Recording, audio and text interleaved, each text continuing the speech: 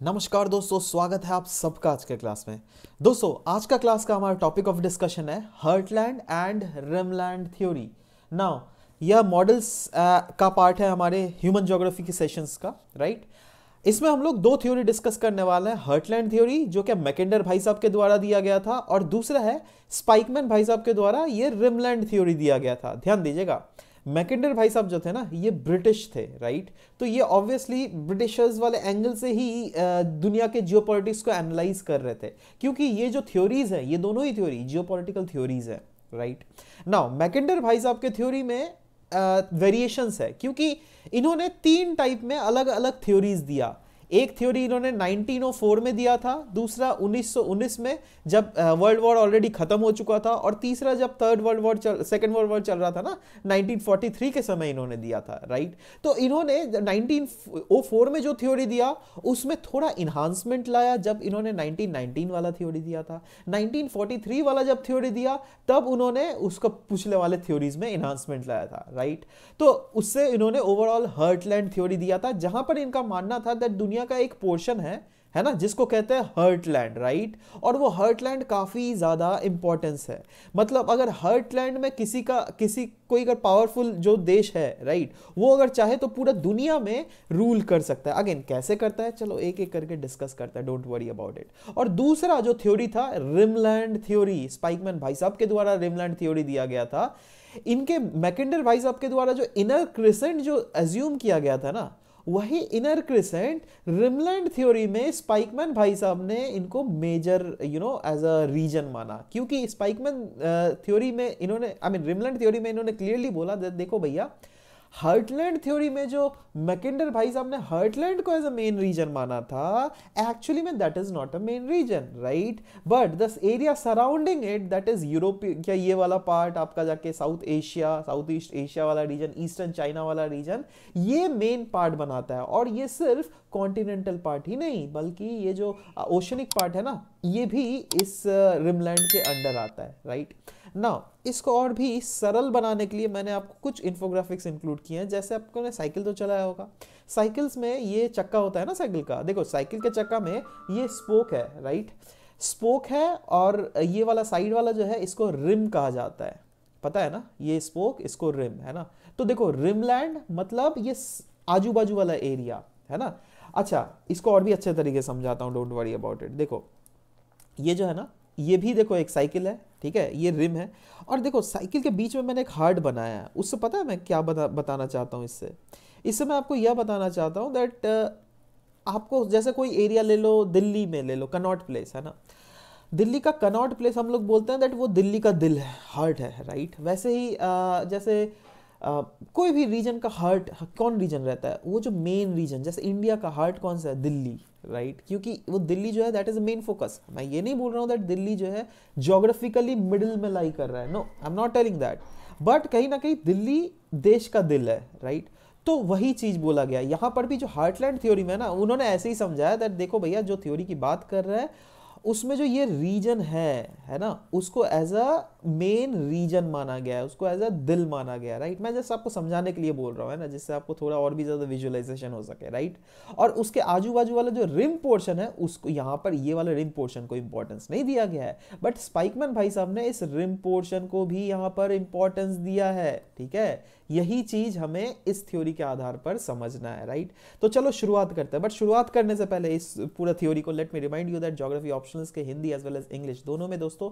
Smart classes को already launch किया गया है। इसको अगर एक्सेस करना है तो दोस्तों लिंक्स इसके रिलेटेड डिस्क्रिप्शन में दिया हुआ है। आपको गूगल प्ले स्टोर से स्मार्ट रैंकर्स ऐप को डाउनलोड करना पड़ेगा और फर्दर आप इसका सब्सक्रिप्शन अटेंड कर सकते हो राइट तो चलिए, शुरुआत करते हैं मेन हर्टलैंड थ्योरी में आ जाते हैं। हर्टलैंड थ्योरी दिया गया था मैकेंडर भाई साहब के द्वारा। 1904 में दिया गया था। जैसे मैंने पहले ही बोला था ना दैट ये ब्रिटिश जोग्राफर थे, है ना? और जो आपका स्पाइकमैन थे, वो थे आपका जाके यूएसए के जोग्राफर ठीक है?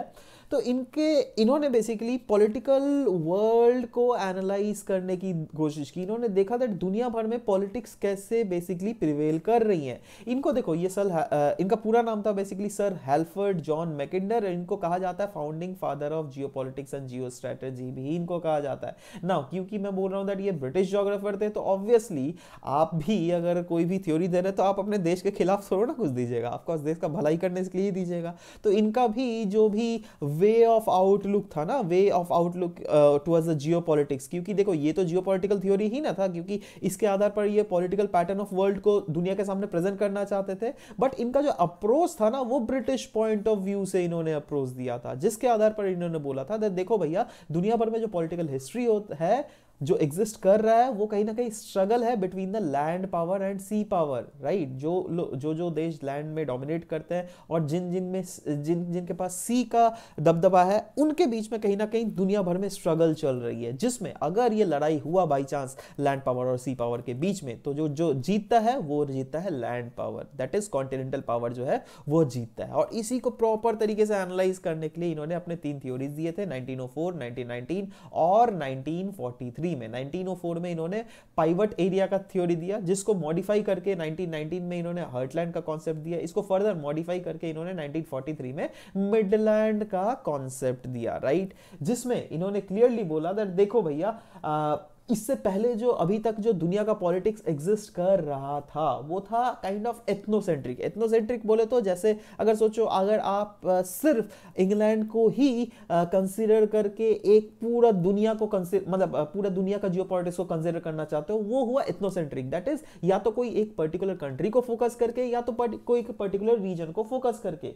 बट इन्होंने जो है, उस चीज़ को जियोसेंट्रिक में कवर कन्वर्ट करने की कोशिश की। जियोसेंट्रिक मतलब आप सिर्फ़ एक ही देश को कंसिडर कंसिडर मत करो बल्कि पूरा दुनिया में जो भी चीज़ हो रही है, उसके आधार पर कहीं ना कहीं चीज़ें चेंज हो रही है। मतलब हम इसको सिस्टम एनालिसिस के कॉन्सेप्ट में बोल सकते हैं। क्योंकि सिस्टम एनालिसिस में हम लोगों ने क्या पढ़ा था? दैट दुनिया जैसे आपका बॉडी है ना, आपका बॉडी में ऑफ़ कोर्स किडनी है लंग्स है हार्ट है, हाथ है, पैर है, दिमाग है, सब कुछ एज अ सिस्टम काम करता है राइट अच्छा अब अगर दिमाग भी ले लो तो दिमाग के अंदर में भी, दिमाग को ही अगर एक सिस्टम मान लो तो उसके अंदर भी यू नो वेरियस टिश्यूज है रेड ब्लड सेल्स है, जो भी है फैट है, कुछ भी है, वो अपना काम कर रहा है एज अ सिस्टम बना के, आपका किडनी भी अपना एक सिस्टम बना के काम कर रहा है, अपना लिवर भी आपका एक अपना सिस्टम बना के काम कर रहा है, आपका हार्ट जो है वो भी एक अपना सिस्टम बना के काम कर रहा है बट ओवरऑल जो आपका पूरा बॉडी है, ये भी एक सिस्टम की तरह काम करता है। मतलब आपका कहीं ना कहीं ये सारे पार्ट जो है इंटरडिपेंडेंट है। वैसे ही इन्होंने भी कहीं ना कहीं अपने इस हार्टलैंड थ्योरी के आधार पर बोला था देखो भैया,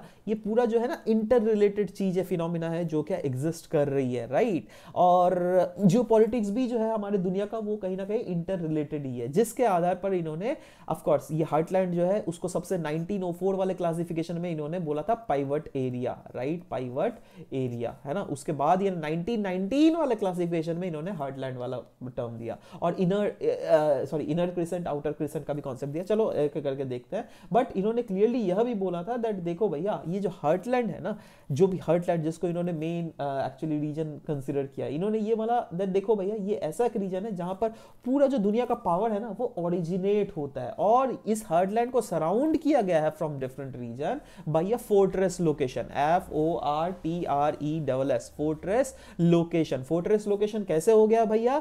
देखो, कैसे हो गया? बता रहा हूँ। फोर्ट्रेस लोकेशन मतलब ऐसा लोकेशन जैसे आप सब आप कहीं पे खड़े हो राइट मतलब या फिर आपका घर हुआ राइट और चारों तरफ़ से आपका पहाड़ है राइट तो ऑब्वियस सा बात है दैट आपके जो दुश्मन है, आपको अटैक नहीं कर सकते। उनको पहाड़ को यू नो टपक के आपका आना पड़ेगा। है ना? और उनका तो एनर्जी नहीं है। तो वैसे ही कहीं ना कहीं इस ये हार्टलैंड लोकेशन को भी इन्होंने फोर्ट्रेस लोकेशन बोला। कैसे भैया? ये देखो जैसे इसको अगर आप हार्टलैंड मानते हो इसका ऊपर वाला क्या? आर्टिक ओशन है। अब आर्टिक ओशन तो फ्रीज रहता है यार है ना? तो नॉर्थ ऑफकोर्स यहाँ से कौन आएगा आपको अटैक करने? ठीक है? ये तो खैर आप बच गए। नॉर्थ वेस्ट रीजन में देखो यहाँ पर बाल्टिक सी है और यहाँ पे आपका जाके आ, क्या बोलते हैं ब्लैक सी है जिसको अगर आप डिफेंड कर सकते हो अगर आप चाहो तो राइट वैसे यहाँ पर वेस्ट में कार्पेथियन माउंटेन्स है साउथ वेस्ट में आपका यहाँ पर देखिए अफ़गानिस्तान और ईरान का प्लेट्यू है इस रीजन में राइट उसके बाद यहाँ पर देखो पाकिस्तान रीजन में हिंदू कुश माउंटेन है है ना? उसके बाद अल्ताई शान त्यान शान है ना? इधर जो है आपका जाकर काफ़ी ज़्यादा रग टोपोग्राफी है, जिसको पार करना मुश्किल है। तो कहीं ना कहीं ये देखो चारों तरफ़ से जो एक फोर्ट्रेस लोकेशन इस हर्टलैंड को प्रोवाइड कर रहा है। और जो खुला एरिया है वो ये वाला एरिया है, जिसको कहा गया इसमें ईस्टर्न कॉरिडोर ठीक है? और ये माना गया दैट देखो भैया, ये हर्टलैंड जो है, ये जो मेन जो हर्टलैंड की बात कर रही है हम लोग, उस वो हर्टलैंड में काफ़ी ज़्यादा आपका इंडस्ट्रियल जो रिसोर्स है और एग्रीकल्चर रिसोर्स वो हमें यहाँ पर मिलता है। और क्योंकि ये रिसोर्स रिच रीजन है इसलिए अगर ये चाहे तो फ्यूचर में आजू बाजू वाले रीजन में कब्जा कर सकता है। आजू बाजू रीजन बोले तो यूरोपियन रीजन में भी, मिडिल ईस्ट रीजन में भी और फार ईस्ट रीजन में भी अगर चाहे तो ये अपना दबदबा बना सकता है। और साथ ही साथ इन्होंने एक अलग भी कॉन्सेप्ट दिया वर्ल्ड आइलैंड का। वर्ल्ड आइलैंड मतलब ये जो देखो, ये मेन हार्टलैंड तो है ही, ये मेन आजू बाजू वाला रीजन तो आपका इनर क्रिसेंट में लिया जो है, ये तो है ही। बट साथ ही साथ इस अफ्रीका को भी इसमें इंक्लूड किया। ये हुआ वर्ल्ड आइलैंड रीजन अब ये पूरा वर्ल्ड आइलैंड रीजन में जो है ना दोस्तों, यहाँ पर देखिए अराउंड आपका लैंड एरिया वाइज अगर देख लीजिएगा तो दुनिया का टू थर्ड एरिया है बट वहीं पर पॉपुलेशन वाइज अगर ले लीजिएगा seven out of eight population जो है इस रीजन में रहती है। मतलब अगर दुनिया को अगर आठवा, आठ पॉपुलेशन डिवीज़न में डिवाइड करो तो अराउंड सात पॉपुलेशन तो आपको यहीं पे मिलेगा। सेवन एट पॉपुलेशन आपको इस रीजन में ही मिलेगा। है ना? तो ऐसे बेसिकली इन्होंने इस वर्ल्ड इसको भी डिवाइड किया। और फर्दर लैंडमार्क्स में इन्होंने इंक्लूड किया था। देखो भैया, ये एक इनर मार्जिनल या फिर इनर क्रिसेंट बोल सकते हैं हम इसको। देखो, ये था हर्टलैंड राइट हर्टलैंड के आजू बाजू वाला जो रीजन है ना, ये वाला, इसको इन्होंने इनर क्रिसेंट माना। ठीक है?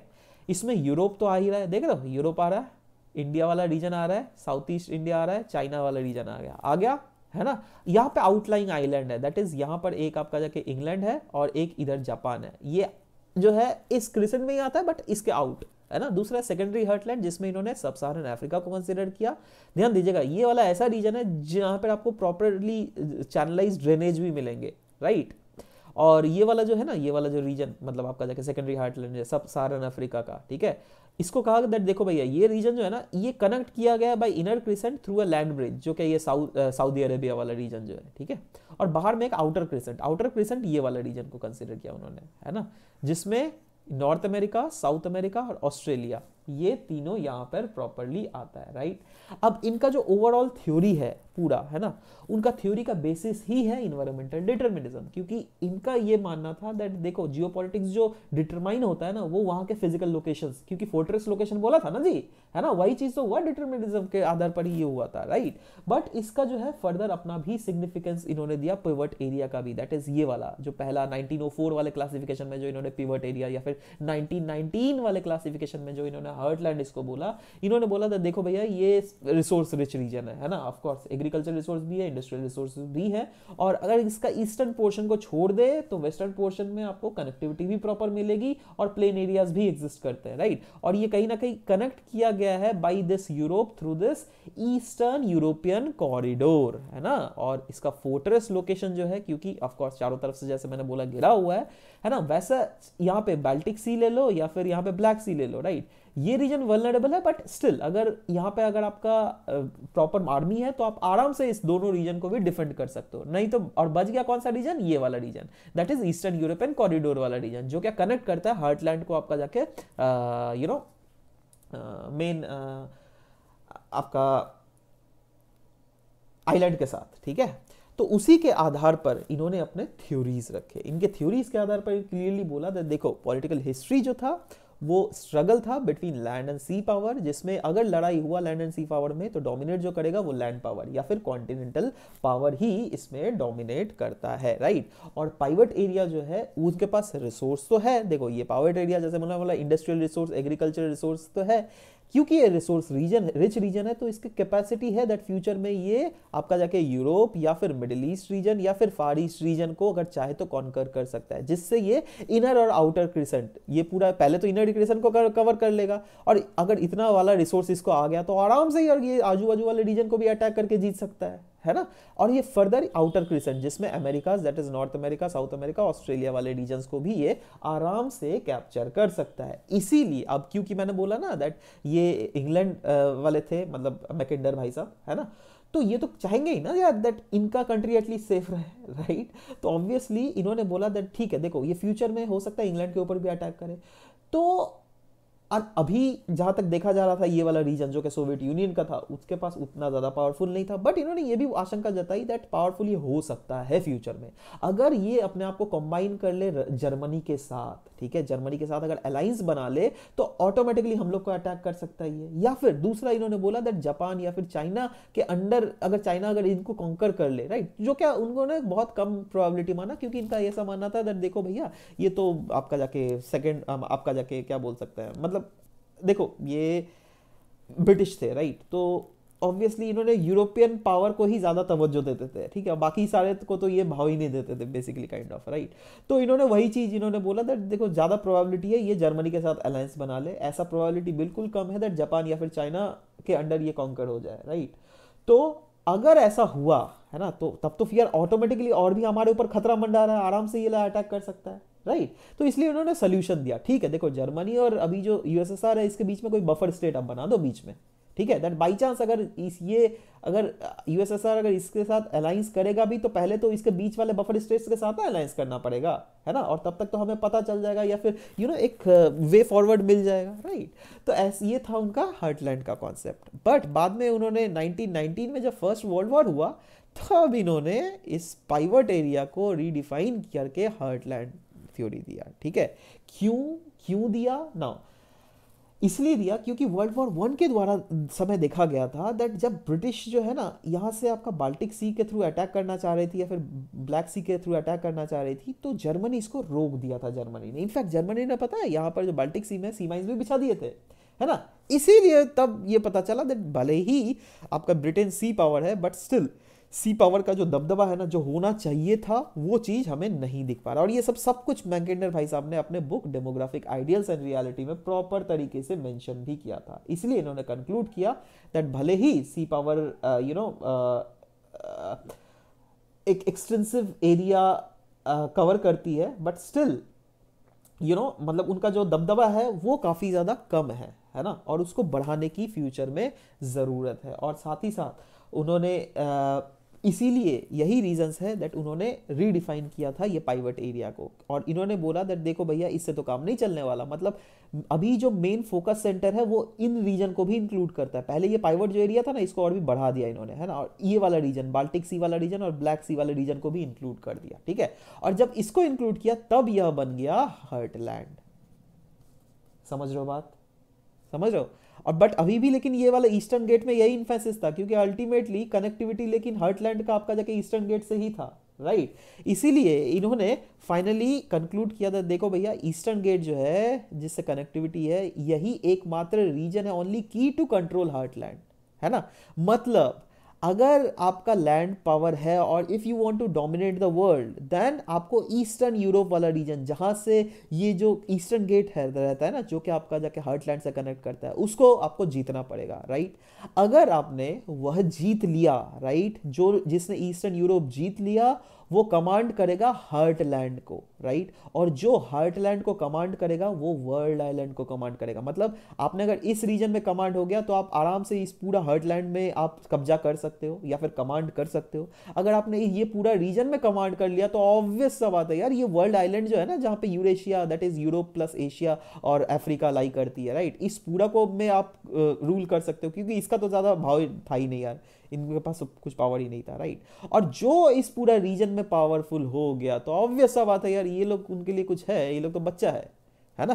तो वो जो वर्ल्ड आइलैंड को यू नो रूल कर रहा है, वो वर्ल्ड को भी रूल कर सकता है। समझ रहे हो बात?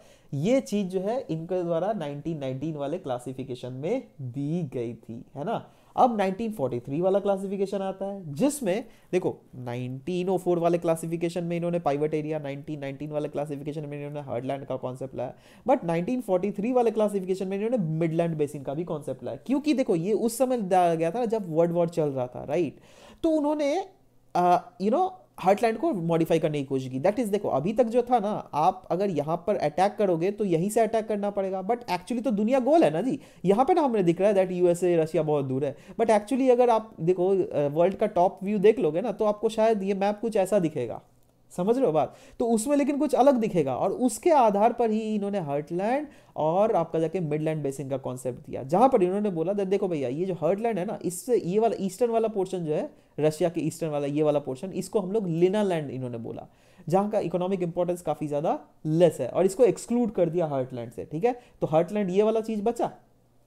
दिख रहा है, समझ पा रहे हो? है ना? तो ध्यान से देखना, ये वाला हर्टलैंड बचा, ये वाला लेना लैंड हुआ, और जो ईस्टर्न यूएसए और वेस्टर्न यूरोप है ना, इसको मिला के इन्होंने मिडलैंड बेसिन बोला। क्योंकि इन्होंने देखा दैट देखो भैया हर्टलैंड जो है, ये भी जो रशिया जो है ना धीरे धीरे अपना गैरिसन बना रहा था दैट इज़ अपना मिलिट्री मज़बूत कर रहा था। तो ऑब्वियस बात है, ये भी शक्त हो रहा है। और साथ ही साथ अगर वेस्टर्न यूरोपियन और ईस्टर्न यूएसए वाला रीजन देख लोगे, इसको अगर मिला दो ना तो ये लोग मिलकर कहीं ना कहीं मिडलैंड बेसिन बना सकते हैं, जो क्या आराम से टक्कर दे सकते हैं रशिया को। समझ रहे हो बात? और इसके जो आजू बाजू वाला रीजन है ना, ये येलो वाला वो पार्ट है जिसको मैं हैचिंग लाइन से कवर कर रहा हूँ, है ना? इन्होंने बोला दैट ये जो है डेजर्ट और वाइल्डनेस है है ना? मतलब जो भी कांड होगा वो इस रीजन के बीच में ही होगा, लड़ाई झगड़ा अगर होगा राइट और ये जो है as a buffer kind of state आप ये बोल सकते हो राइट वो चीज़ जो है इन्होंने अपने थ्योरीज में रखा था, है ना? और आ, ये सवाल होता है दैट हाँ ये क्या बोलते हैं मिडलैंड बेसिन को इन्होंने इस सबको एक क्यों माना? क्योंकि कहीं ना कहीं इन्होंने देखा था दैट देखो भैया अगर जोग्राफिकल फैक्टर्स देख लो वो सिमिलर है। डेवलपमेंटल पैरामीटर्स देख लोगे ये दोनों रीजन में सिमिलर है राइट और कहीं ना कहीं सी और एयर का भी रोल जो है इस रीजन में धीरे धीरे इंक्रीज हो रहा था जो क्या इन देशों में काफ़ी ज़्यादा डोमिनेंट था। इसीलिए इन्होंने इस थ्योरी के आधार पर इमरजेंस बताया हार्टलैंड का तो बताया ही। माफ़ करना दोस्तों। मिडलैंड का भी इमरजेंस बताया और कहीं ना कहीं इस दोनों सुपर पावर का इमरजेंस कैसे बताया? देखो इमरजेंस ऑफ़ हर्टलैंड में उन्होंने कहा दैट पहले जो हम लोगों ने क्या डिस्कस किया था दैट हर्टलैंड अगर हो सक, अगर चाहे तो पावर का फोकस बन सकता है। अगर ये वाला हर्टलैंड अगर रशिया के साथ अलायंस बना ले, या फिर अगर चाइना या फिर जापान जो है वो उसके अंडर में ही आ जाए राइट तो बट स्पाइकमैन ने सॉरी मैकेंडर भाई साहब ने क्लियरली बोल दिया था दैट ये वाला तो प्रोबेबिलिटी हो नहीं सकता राइट तो सही वाला पहला जो मेन प्रोबेबिलिटी है वो ये हो सकता है दैट जर्मनी के साथ ये अलायंस बना ले राइट और देखो, ये तो पहले हम लोगों ने माना था, है ना? जो क्या हुआ नहीं, क्योंकि अगर वर्ल्ड वॉर टू देख लो, वहाँ पर जर्मनी का बहुत खस्ता हालत हो गया था, बहुत ही ज़्यादा खस्ता हालत हो गया था राइट और मीन ये रशिया ने भी वो चीज़ देख लिया था तो उसने अपना गैरिसन जो है ना काफ़ी ज़्यादा एक बहुत स्ट्रॉन्ग आर्मी बनाने की कोशिश की राइट और क्योंकि जर्मनी भी वीक पड़ रहा था तो ऑटोमेटिकली यह दिख रहा था दैट रशिया का जो है ना वो उभर रहा है। ध्यान दीजिएगा, पहले ऐसा लगा था दैट जर्मनी के साथ वो मिलकर करेगा बट क्योंकि जर्मनी ज़्यादा टिका नहीं राइट और सेकेंड वर्ल्ड वॉर में भी उसका परफॉर्मेंस उतना खराब दिख रहा था तो इसलिए ये क्लियरली दिख रहा था दैट हाँ हर्टलैंड ही जो है बहुत ज़्यादा बूम होकर मतलब पहले जो था, ये एक रिसोर्स रिच रीजन था, है ना? बट पावर वैक्यूम एग्जिस्ट कर रहा था हार्टलैंड में।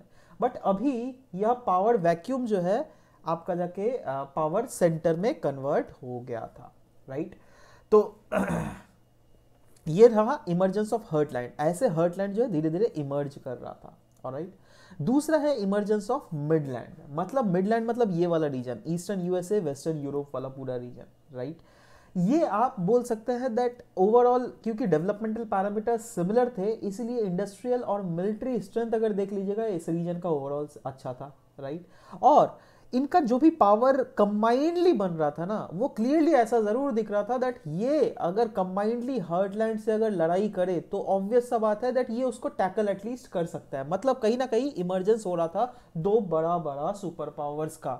एक था हर्टलैंड जो क्या प्रिडोमिनेटली यू नो यूएसएसआर के द्वारा चलाया जा रहा था, है ना, जो प्रेजेंट डे रशिया या और दूसरा है मिडलैंड वाला, ये पूरा रीजन को, जिसमें अटलांटिक ओशन का भी एक मेजर रोल था लेकिन राइट और ये, देखो, ये वाला या फिर हर्टलैंड वाला रीजन ये चारों तरफ़ से किसके द्वारा घिरा हुआ था? एक वाइल्डरनेस जो कि ये येलो में बताया गया ना? और ये हैचिंग लाइंस जो मैं बना रहा हूँ राइट और ये जो जोन है ना, इसको इन्होंने कहा मैकेंडर भाई साहब ने दैट देखो भैया, ये तो जोन ऑफ़ इनएक्टिविटी है। या दैट इज़ यहाँ पर कुछ होता नहीं है। बट एक्चुअली में इसको आप क्रिटिसाइज भी कर सकते हो दैट ये जोन ऑफ़ इनएक्टिविटी कैसे होगा भाई? इनफैक्ट अगर आप देख लीजिएगा कोल्ड वॉर के समय तो यही जोन ऑफ़ एक्टिविटी था, क्योंकि इसी रीजन को यू नो ताक में रखकर आपका जाके रशिया और यूएसए जो है लड़ाई कर रही थी कोल्ड वॉर के समय। हो रहा था ना? तो ये तो जोन ऑफ़ एक्टिविटी ना हुआ काइंड kind ऑफ़ of, बाद में। बट इसके साथ साथ और भी बहुत सारे क्रिटिसिज्म आते हैं। जैसे इन्होंने बोला था दैट हर्टलैंड जो है, वो रीजन है रिलेटिव डिसएडवांटेजेस का। क्यों? क्योंकि वहाँ पर क्लाइमेट टेरेन उतने ज़्यादा प्रॉपर कंड्यूसिव नहीं है। तो यहाँ पर आप क्रिटिसाइज करते हो दैट क्या सिर्फ़ क्लाइमेट और सिर्फ़ टेरेन ही डिसाइड कर सकते हैं दैट कोई रीजन रिलेटिवली एडवांटेजेस हो गया या डिसएडवांटेजेस ऐसा तो नहीं हो सकता ना यार। अगर कोई रीजन छोटा है या फिर यू नो उतना ज़्यादा उसका क्लाइमेट टेरेन अच्छा नहीं भी है तो भी अगर वो साइंस एंड टेक्नोलॉजी में बहुत ज़्यादा अच्छा है तो कहीं ना कहीं वो रिलेटिवली एडवांटेजेस सेक्शंस भी हो सकता है राइट दूसरा इनका क्रिटिसिज्म आप बोल सकते हो दैट इन्होंने जो पावर पोटेंशियल है ना, उसको जोग्राफिकल एरिया से इक्वेट किया था राइट दैट जिस ऑलमोस्ट क्योंकि देखो, इस रीजन में जोग्राफिकल एरिया भी ज़्यादा है तो ऑब्वियसली रिसोर्स भी ज़्यादा है तो उसलिए इसका पावर पोटेंशियल इन्होंने ज़्यादा माना। बट क्या ऐसा है? अभी के ज़माने में क्या? पावर पोटेंशियल आप साइंस जिस रीजन में साइंस एंड टेक्नोलॉजी ज़्यादा डेवलप्ड है जिस रीजन का you know war technology nuclear technology काफ़ी ज़्यादा डेवलप्ड है, यही सबको हम मान सकते हैं। और ऐसे ही बहुत सारे क्रिटिसिजम्स है, और ये जो मैंने पूरा पढ़ा है ना, इस चीज़ को और भी इन्हांस तरीके से पढ़ाया गया है दोस्तों, अगर आप जोग्राफी स्मार्ट क्लासेस को ज्वाइन करते हैं राइट अगेन वहाँ पे बहुत ही प्रॉपर तरीके से इन्हांस्ड वे में समझाया गया है। ये तो मैं इंश्योर कर रहा हूँ दैट जो जो रिविजन दे रहे हैं एटलीस्ट वो लोग ज़रूर रिविजन दे सकते हैं बट हाँ इससे बहुत ज़्यादा चीज़ जो है आपका स्मार्ट क्लासेस में प्रॉपर तरीके से समझाया गया राइट तीसरा, हम इसको क्रिटिसिज्म बोल सकते हैं पॉलिटिकल डिटर्मिनिज्म क्योंकि देखो स्टार्टिंग में ही ना बोला था दैट ये कहीं ना डिटर्मिनिस्टिक फिलोसफी है मतलब इन्होंने, इनका ये मानना था दैट लैंड पावर और सी पावर के बीच में जब भी झगड़ा होता है राइट तो कहीं ना कहीं वो उस रीजन का पॉलिटिकल जो फॉर्च्यून है, वो डिसाइड करता है। बट एक्चुअली में अगर देख लीजिएगा, कोई रीजन का पॉलिटिकल फॉर्च्यून जो है, वो डिसाइड होता है by different factors that is उसमें फ़िज़िकल फैक्टर्स भी आ जाता है सोशल फैक्टर्स भी आ जाता है इकोनॉमिक फैक्टर्स भी आ जाता है और कल्चरल फैक्टर्स भी आ जाता है। इनफैक्ट अगर इन रियलिटी देख लोगे हार्टलैंड जो बोला था ना दैट ये फोर्ट्रेस से गिरा हुआ बट क्या ये फोर्ट्रेस आपको दिख रहा है? जी, है ना? मैंने फोर्ट्रेस तो चलो है भी बट स्टिल फोर्ट्रेस मतलब क्या? दैट अगर आप इस रीजन में हो, चारों तरफ़ से अगर आपका पहाड़ है तो आपको कोई भेद नहीं सकता, है ना? बट आराम से अगर सोचो, मैं अगर यहाँ से मिसाइल दागू तो आराम से ये यहाँ पे जाके गिर सकता है।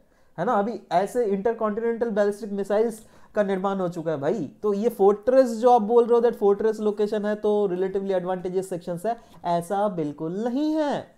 Right right? तो यहीं पर आप इसको क्रिटिसाइज कर सकते हो राइट right? इसके बाद माना गया दैट हर्टलैंड जो है रिच बोला गया था बट इन रियलिटी अगर एग्रीकल्चर और इंडस्ट्रियल अगर देख लीजिएगा डेवलपमेंट वो वेस्टर्न पार्ट ऑफ़ यूरल्स में ही हमें ज़्यादातर देखने को मिलता है तो ऐसा अगर पूरा हम हर्टलैंड को लेकर डिसाइड कर रहे हैं दैट ये रिसोर्स रिच है तो ऐसा बिल्कुल नहीं है राइट right?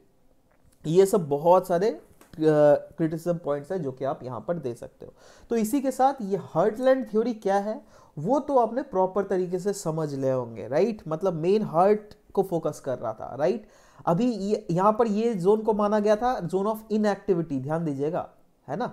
बट अभी वही चीज़ जो है ना, ये इस रीजन को जिसको जोन ऑफ़ इनएक्टिविटी माना गया, उसको रिमलैंड थ्योरी में जोन ऑफ़ एक्चुअल एक्टिविटी माना गया था। है ना? और ये रिमलैंड थ्योरी दिया भी गया था निकोलस जॉन स्पाइकमैन, जो कि एक अमेरिकन पॉलिटिकल साइंटिस्ट थे राइट ना, ध्यान दीजिएगा, इन्होंने जो अपना थ्योरी दिया था it was absolutely opposition to Mackinder का हार्टलैंड थ्योरी और इन्होंने अपने थ्योरी को प्रॉपर तरीके से अपने बुक जोग्राफी ऑफ़ पीस में इनहांस तरीके से लिखा था, जहाँ पर इनका जो इंटरप्रिटेशन था ना हर्टलैंड का और रिमलैंड का, वो बिल्कुल अलग अलग था as if you compare it with the Mackinder's theory क्यों? क्योंकि मैकेंडर्स थ्योरी में हार्डलैंड को तवज्जो दिया गया था और माना गया दैट ये जो आजू बाजू वाले जो रीजन्स है, वो एज अ बफर काम करते हैं जोन ऑफ़ इनएक्टिविटी है। बट यहाँ पर बोला गया था, नहीं भैया, यही रीजन जोन ऑफ़ इनएक्टिविटी है। और ध्यान देना, यहाँ पर आपको सिर्फ़ कॉन्टिनेंट वाला पार्ट ही नहीं, बल्कि ओशन वाला पार्ट भी यहाँ पर इंक्लूड किया गया है। समझ रहे हो? और ये जो भी, क्योंकि ये ऑफ़ कोर्स अमेरिकन थे तो ऑफ़ कोर्स इनका जो बोलने का तरीका था या फिर इंटरप्रिटेशन का तरीका, वो कहीं ना कहीं आप बोल सकते हैं that American point of view से था और ऑफ़ कोर्स ये भी डिटर्मिनिस्टिक थ्योरी था, जहाँ पर क्योंकि माना गया दैट लैंड और सी इसका दोनों का तवज्जो है तो इसीलिए यहाँ पे ये भी बोला गया दैट देखो भैया मैरिटाइम मोबिलिटी जो है ना, ये की फैक्टर है है ना? और और पिछले बार दैट इज़ मैकेंडर भाई साहब ने जो हर्टलैंड थ्योरी में हर्टलैंड को इंपॉर्टेंट माना था बट इन्होंने इसलिए नहीं इंपॉर्टेंट माना, क्योंकि हर्टलैंड में टेरेंस और क्लाइमेट काफ़ी ज़्यादा डिफ़िकल्ट है। ये एक्चुअली में फोर्ट्रेस लोकेशन तो है नहीं, जो कि हम लोगों ने अभी पिछले स्लाइड में ही बोला। और इंडस्ट्रियलाइजेशन भी अगर देख लीजिएगा तो ज़्यादा ऐसा नहीं है, सिर्फ़ यूराल्स के जो वेस्टर्न पार्ट है, उसी रीजन में थोड़ा मोड़ा इंडस्ट्रियलाइजेशन है राइट और ये उतना रिसोर्स रिच रीजन भी एज सच नहीं है। इसीलिए इन्होंने अपना थ्योरी रखा रिमलैंड थ्योरी जहाँ पर इन्होंने बोला दैट देखो भैया rimland has far more resources in fact मतलब ये हार्टलैंड जो है ना, उतना रिसोर्सेज नहीं है जितना इस रिमलैंड रीजन में है राइट रिसोर्स तो देख लीजिए, बहुत ज़्यादा आप देख लीजिए ना। देखिए मेन रिसोर्स क्या है? तेल भाई है ना, इस रीजन में तेल है है ना, और भी बहुत रीजन में तेल है। देखो साउथ चाइना सी में जो चाइना जो दबदबा बना रहा है, क्यों? इस तेल के खोज के लिए ही ना जी, है ना? तो यहाँ पे तेल है राइट मैन पावर देख लो, बहुत ज़्यादा है इंडिया देख लो चाइना देख लो, ये सब क्या रिमलैंड रीजन में ही रहते हैं। अब इनका पॉपुलेशन देख लो, कितना ज़्यादा है, दुनिया का टॉप दो पॉपुलेटेड रीजन है राइट और वहीं, और इन्होंने साथ ही साथ ये भी बोला, कहीं ना कहीं पास से भी अगर देख लोगे तो सी पावर ने ही गवर्न किया है relationship between the new world and old world old world में इन्होंने यूरोपियन नेशंस को बोला, जहाँ, जिसने यू नो न्यू वर्ल्ड को डिस्कवर किया। जैसे देखो पोर्तुगीज ने ही इंडिया को डिस्कवर किया साउथ अमेरिका में ये गए ब्रिटिशर्स जो है यूएसए में गए ब्रिटिशर्स जो है ऑस्ट्रेलिया में गए राइट तो इन्होंने ही ना डिस्कवर किया। इसलिए इन्होंने माना from the past sea power ने जो है कहीं ना कहीं बहुत ज़्यादा तक हेल्प किया है, जिससे कि उन्होंने यूरेशियन कॉन्टिनेंट को एज अ यूनिट बनाया है राइट और कंबाइंड अगर देख लीजिएगा लैंड और सी पावर तो वो कहीं ना कहीं रिमलैंड को कंट्रोल करेगा इनकमिंग फ्यूचर मतलब अगर इस रीजन में कहीं, किसी के पास अगर सिर्फ़ लैंड पावर है या फिर सिर्फ़ सिर्फ़ सी पावर है तो आप रिलाई नहीं कर सकते हो। इसीलिए आप देख रहे हो ना चाइना या फिर इंडिया देख लो लैंड पावर में भी कितना खर्चा कर रही है सी पावर में भी कितना खर्चा कर रही है, वैसे इंडिया भी कर रही है। मतलब कहीं ना कहीं हम ये भी बोल सकते हैं दैट इस थ्योरी के मुताबिक ये बोला गया that who controls the rimland that is इस वाले रीजन को जो भी कंट्रोल करेगा, वो पूरा यूरेशिया रीजन को कंट्रोल करेगा, है ना? इसीलिए जो है बहुत ज़्यादा यू नो कंपटीशन है इस रीजन में, है ना? तो देखो, मैं पता दे रहा हूँ कैसे कंपटीशन है बट उससे पहले ये मैं ये बता दे रहा हूँ दैट इन्होंने जो बोला था दैट जो इस रिमलैंड वाले पोर्शन में राज करेगा, वो पूरा Eurasia that is Europe plus Asia में राज करेगा और जो पूरा यूरेशिया में राज करेगा, वो पूरा दुनिया में राज करेगा। समझ लो और यही हर्टलैंड वाले थ्योरी में बोला गया था दैट जो ईस्टर्न यूरोप में राज करेगा, वो आपका जाके हर्टलैंड को राज करेगा, जो हर्टलैंड में राज करेगा, वो आपका जाके वर्ल्ड आइलैंड में राज करेगा, जो वर्ल्ड आइलैंड में, वो वर्ल्ड में। है ना? और वही चीज़ सिमिलरली कहीं ना कहीं यहाँ पर भी सिमिलर काइंड ऑफ़ थ्योरी दिए गए थे राइट अब बट इस थ्योरी के क्रिटिसिज्म भी तो आते हैं ना? और वो क्रिटिसिज्म क्या थे? इन्होंने इक्वेट अगेन वही सेम क्रिटिसिज्म लिख सकते हो पावर पोटेंशियल को जोग्राफिकल एरिया से इन्होंने भी इक्वेट करने को चाहा, है ना? बट एक्चुअली में सब समय ऐसा नहीं होता। कहीं साइंस एंड टेक्नोलॉजी भी बहुत मैटर करता है। ऐसा भी हो सकता है दैट कल को यहाँ का एक छोटा सा कंट्री यू नो बहुत ज़्यादा टेक्नोलॉजिकली रिच हो जाए। है ना? मतलब मैं जस्ट बोल रहा हूँ, है ना? ऐसा है नहीं बट हाँ हो सकता है ना? तो क्यों ना? अब इसराइली देख लो, कितना छोटा देश है, कितना जोग्राफिकल डिसएडवांटेजियस रीजन्स में है बट स्टिल वो कितना रिसोर्स मतलब आपका साइंस एंड टेक्नोलॉजी कितना ज़्यादा इन्हांस्ड है। बोल सकते हैं? वही, वैसे ही दूसरा क्रिटिज्म आप बोल सकते हो रिमलैंड जो है, ये एक रीजन है सच नहीं है। इनफैक्ट क्योंकि रिमलैंड के भीतर भी तो बहुत सारे कलेश चल रहे हैं ना, बहुत सारे झगड़े चल रहे हैं, है ना? टुडे का, अगर आज का जियो देखोगे तो आज का जियो पावर के फैक्टर पर नहीं लड़ा जाता। इनफैक्ट कुछ इंटरनेशनल लॉज भी बने हुए हैं, है ना? क्योंकि पहले क्या होता था ना पॉलिटिकल कॉलोनियलिज्म होता था। जैसे ब्रिटिशर्स ने जो हमारे को कॉलोनी बनाया था राइट वो था पॉलिटिकल कॉलोनियलिज्म बस अभी का कॉलोनियलिज्म अलग टाइप का अभी इकोनॉमिक कॉलोनियलिज्म है। या फिर इकोनॉमिक इंपेरियलिज्म जो बोल सकते हैं। जैसे चाइना, आज जो आपका पाकिस्तान के ऊपर जो कर रहा है, पाकिस्तान को एकदम बिल्कुल उसने इतना ज़्यादा लोन दे दिया दैट पाकिस्तान अभी उसके यू नो पैर तले दब गया है right that is called economic imperialism अभी जो चाइना चाहे वैसे पाकिस्तान को ये चढ़ा सकता है राइट तो ये सब कुछ कुछ चीज़ें आप क्रिटिसिज्म में भी दिख सकते हैं। बट साथ ही साथ इसके एप्लीकेशन में भी तो हम लोग आ जाते हैं भाई। एप्लीकेशन क्या है? क्या रियल वर्ल्ड में कोई इसका एप्लीकेशन है? तो जी हाँ है, कैसे नहीं है? तो इसका पहला एप्लीकेशन है एल्फ्रेड महान जी ने एक मतलब कॉन्सेप्ट दिया था debated and debatable zone actually इन्होंने 30 डिग्री पैरेलल और 40 डिग्री पैरेलल के बीच वाला जो रीजन है ना, जिसमें कॉकॉस रीजन देख लो ईरान अफ़गानिस्तान पाकिस्तान कश्मीर तिब्बत उइगुर उसके बाद आपका जाके सेंट्रल रीजन देख लो। तो ये कुछ कुछ ऐसे रीजन्स है जो क्या काफ़ी ज़्यादा कंटेंशियस जोन्स में है राइट और जिसके ऊपर सबका नज़र रहता है। आप खुद देखो, है ना?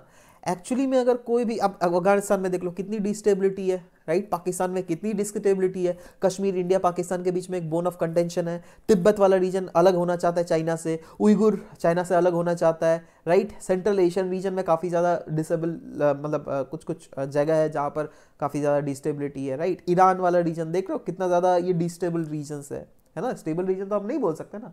ना क्यों? यहाँ पे कॉन्फ्लिक्ट क्यों है? क्योंकि ये रिमलैंड में है। ना? और वही चीज़ तो हम लोग बोल रहे थे, यहाँ पे कॉन्फ्लिक्ट है और रिमलैंड थ्योरी में तो यही बोला गया दैट इसी रीजन के लिए बेसिकली लड़ाई झगड़ा होगा। है ना? और कहीं ना कहीं अल्फ्रेड महान जी का जो डिबेटेड और डिबेटेबल जोन था, वो भी यही तीस डिग्री पैरल से चालीस डिग्री पैरल के बीच में ही था।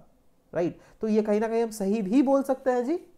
है ना? अच्छा ये भी देख लो 40 इसके ऊपर वाले जो है रशि, रशिया का डोमिनेंस है इस वाले रीजन में इससे नीचे वाला जो है ब्रिटिश का डोमिनेंस था राइट अब क्या है ना जब जहाँ पर भी ब्रिटिशर्स के डोमिनेंस थे तो वहाँ पर तो जो ब्रिटिशर्स चाहेंगे वो चाहेंगे ही ना दैट दूसरा आइडियोलॉजी ना पन पे। मतलब यहाँ पे रशिया का क्योंकि डोमिनेंस है ऊपर में तो ऑब्वियसली रशिया चाहेगा दैट ये पूरा जो रीजन है ना ये पूरा रीजन में रशियन आइडियोलॉजी फैल जाए राइट और रशियन आइडियोलॉजी क्या था? कम्युनिज्म है ना? बट ब्रिटिशर्स वो नहीं चाहते थे। है ना? तो कहीं ना कहीं ये रीजन दैट इज़ रिमलैंड जो थ्योरी के आधार पर जो है, काफ़ी ज़्यादा मदद हुआ वेस्टर्न वर्ल्ड को कम्युनिज्म जो आइडियोलॉजी है, इस रीजन्स में रोकने को। है ना? क्योंकि पहले ही उनको पता चल गया था that this region will be the bone of contention so obviously ये लोग चाहते थे दैट जिससे कम से कम ये हो सके राइट right? और क्योंकि ये पूरा region that is rimland theory में ये आपका इंडियन ओशन रीजन भी आता है तो देख लीजिएगा, बहुत ज़्यादा एक्टिविटीज़ बढ़ गई है। जिबोती में देखो यूएसए का मिलिट्री बेस है राइट चाइना ने भी अपना मिलिट्री बेस खोला हुआ है। चाइना देख रहे हो आप इंडियन ओशन रीजन में काफ़ी ज़्यादा एक्टिव बन रहा है। इंडिया का तो खैर दबदबा बहुत ज़्यादा है राइट तो ये सब चीज़ें कहीं ना कहीं दिख रही है दैट हाँ भैया, ये क्योंकि आपका जाकर रिमलैंड रीजन में है तो कहीं ना कहीं इस रीजन के ऊपर ही होर लगी हुई है दुनिया भर के पीछे, है ना? अभी रिसेंट एग्जांपल ही उठा के देख लो ना। चलो, एक करंट अफेयर ही ले लेता हूँ। जैसे यूनाइटेड स्टेट्स ने, है ना? यूनाइटेड स्टेट्स ने एशिया पैसिफिक, पहले बोलता था ना, ये पूरा रीजन्स को, ये पूरा पैसिफिक और ये पूरा रीजन को, एशिया पैसिफिक, है ना? बट अभी क्या बोला जाता है? इंडो पैसिफिक है ना? जो कि ऑफकोर्स चाइना को भी पसंद नहीं है रशिया को भी पसंद नहीं है। बट ये यूएसए कर क्यों रही है? क्योंकि यूएसए देख रही है, अरे यार रशिया से तो हमको खतरा है चाइना से तो हमको खतरा है। तो ऑब्वियस सब आता है नेचुरल एलाई जो है इंडिया ही बन रहा है। तो इंडिया को ही भाव दे, है ना? तो इसलिए इसका नाम चेंज करके इंडो पैसिफिक अगर रखे तो इंडिया का भी मन अच्छा होगा और दुनिया भी कहीं ना कहीं इसको इंडो पैसिफिक के नाम से जानेगी। मतलब दुनिया को कहीं ना कहीं इनडायरेक्टली ये लगेगा दैट हाँ भैया इंडिया का जो है इस रीजन में दबदबा है ऑब्वियस सा बात है। इंडिया का दबदबा है, इसका मतलब क्या है? रशिया और चाइना का जो दबदबा है, वो रिस्पेक्टिवली कम है। और जो क्या? फ़ायदा होगा यूएसए के लिए। समझ रहे हो बात? तो यही है, यही बेसिकली एप्लीकेशन है रिमलैंड थ्योरी के। अगेन जैसे पहले ही बता दे रहा हूँ दोस्तों दैट इसका जो इन्हांस्ड वर्जन है, वो हम लोगों ने मतलब जो अप्लाइड पार्ट है, वो प्रॉपर तरीके से हम लोगों ने स्मार्ट क्लासेस में प्रॉपर तरीके से समझाया गया है, जिसका लिंक अगेन आपको नीचे में डिस्क्रिप्शन में मिल जाएगा। So this was all about the discussion that we had for heartland and rimland theory right मिलते हैं आपके साथ कोई नेक्स्ट सेशन में एक नए टॉपिक के साथ। Till then bye take care and thank you for listening to the video